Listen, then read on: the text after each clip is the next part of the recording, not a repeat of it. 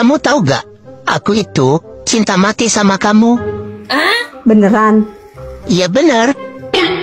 Ya udah, kalau begitu kamu mati aja sekarang. Dasar somplak. Katanya cinta mati, disuruh mati malah ngamuk.